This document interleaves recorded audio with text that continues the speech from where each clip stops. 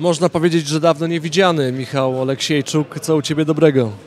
No co u mnie dobrego? Trenuję, rozwijam się, uczę się i cieszę się, że mój brat wygrał. Bardzo fajny knockout, e, gratulacje. Pewnie ogromne emocje na walce brata, prawda?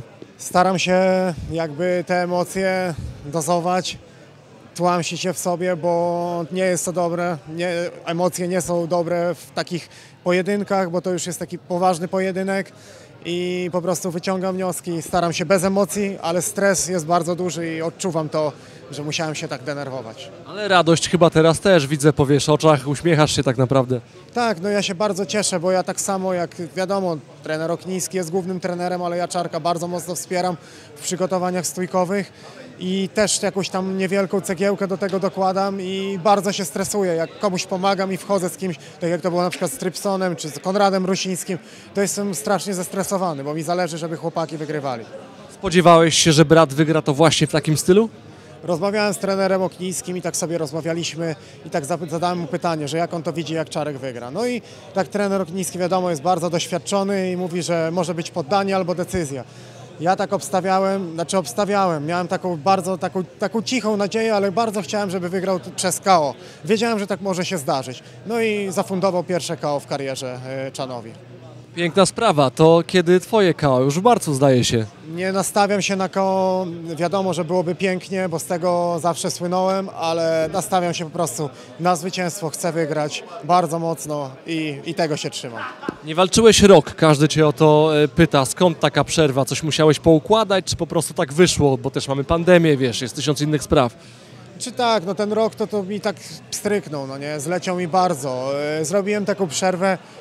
Po pierwsze miałem kontuzję, troszeczkę się podleczyłem. Nie była to jakaś poważna kontuzja, ale podoleczałem wszystko i później była pandemia. Było to bardzo długi okres taki, w którym ja już się tam zamknąłem na sali. Trenowałem wspólnie z trenerem Oknińskim, ze swoimi zapaśnikami z Oleksiejczuk Team. Poprawiłem to wszystko przez cały rok i czuję się świeży i chcę bardzo mocno walczyć. Czyli cały czas progresujesz, bo bardzo mocno podkreślasz, że się rozwijałeś, że się uczyłeś w tym roku.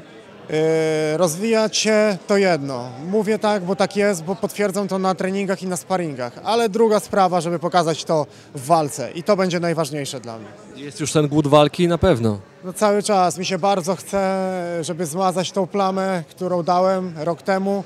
Cały czas to we mnie siedzi, jestem zły, wściekły, że to się tak poukładało, bo wiem, że gdybym miał inne podejście, mógłbym to inaczej rozegrać, ale było, minęło, byłem gorszym zawodnikiem wtedy, teraz jestem lepszy i wierzę w to, że będzie dobrze.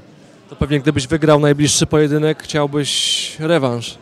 Ja bym bardzo chciał, ale na razie skupiam się na tym, co jest teraz, na tej walce, a do rewanżu wierzę głęboko, że kiedyś dojdzie, bo po prostu no, cały czas to we mnie siedzi i, na pewno będę dążył do tego, żeby się zrewanżować. Twój rywal e, no, ma fajne warunki fizyczne, jest dużo od ciebie wyższy.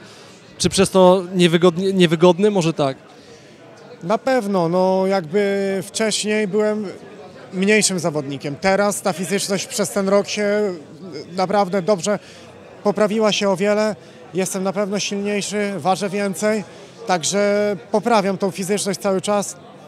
Było wcześniej kilka błędów, o których tam już nie będę mówił, bo to nie jest tłumaczenie. Po prostu byłem wtedy gorszym zawodnikiem.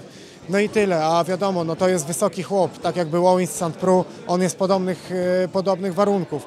No ale też pokazywałem, że na przykład z tym Owinsem mimo przegranej walki potrafiłem dobrać się tam do szczęki w pierwszej rundzie, więc pracuję nad tym, żeby dobrze skracać dystans i bić. Czy potrafisz walczyć z takimi zawodnikami, jak to mówiłeś już wcześniej? No na co dzień mam takich wysokich zawodników, więc jakby no doświadczenie w tym mam, też z takimi się mierzyłem, no więc zobaczymy na walce. Walka wszystko zweryfikuje i pokaże.